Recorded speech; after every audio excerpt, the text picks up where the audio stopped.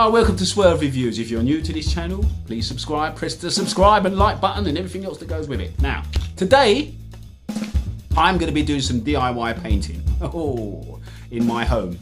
But I haven't got a ladder and I'm not going to go and fork out on it for a ladder just to get up high so I can cut in around the top. I just can't do it. Or you might even be like me and be scared of heights. And not going to get you up a ladder anyway, are we? So, but fear not for I found the perfect tool to get the job done.